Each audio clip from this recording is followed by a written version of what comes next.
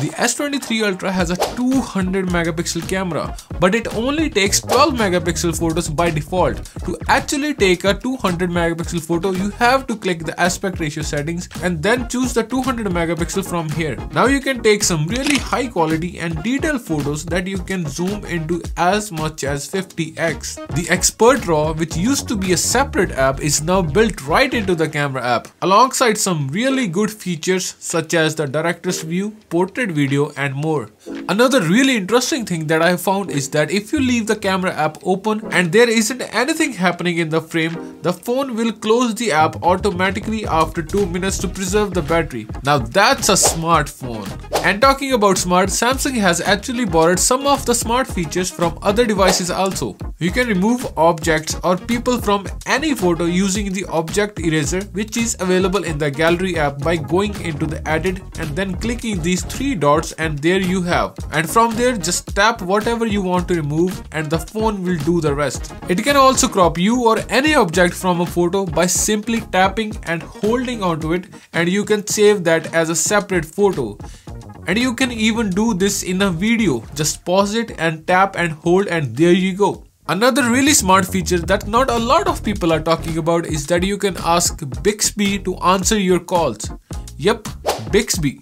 Just open the Bixby settings and from there go to talk to Bixby without wake up and turn it on. That's it. Now we are all guilty of using our phones way too much, especially for social media and putting timer on every single app is not the easiest solution. But in S23 you can simply put a daily time limit specifically for social media. Just go to the settings, then digital well-being, then you'll see app timers click on social and put the time limit you want and when it's done, the phone will simply disable all social media apps. And also if you're using your phone in bed, it messes up with your sleep.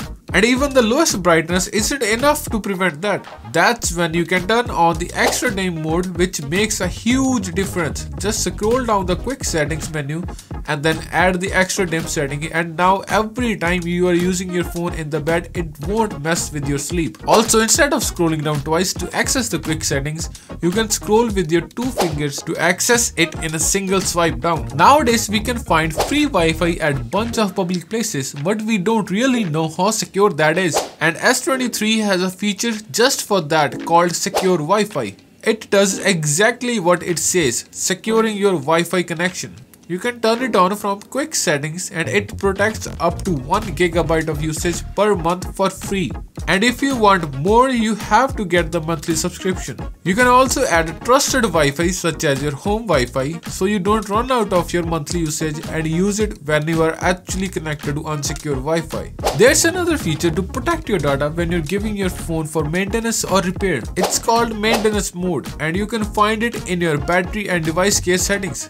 This feature will limit your phone to few apps and also won't allow access to your personal data such as photos and messages until you won't put in your password.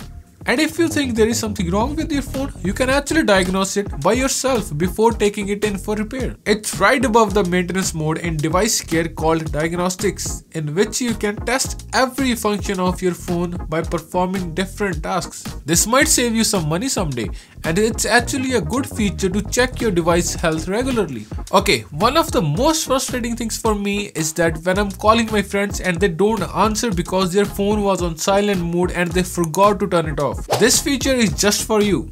You can put the S23 to mute with the time limit so it can automatically puts the phone back on sound mode. To access this, go to the sound setting, click on mute and right there it says temporary mute.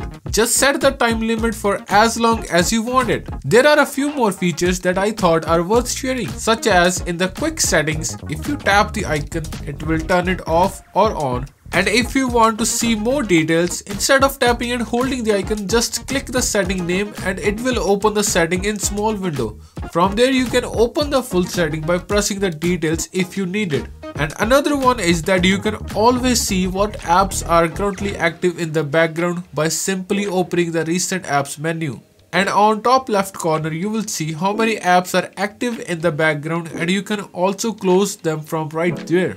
So these are some of the features that I thought are worth sharing with you guys. If you really learned a new feature today, make sure to like the video and subscribe the channel for more videos like this.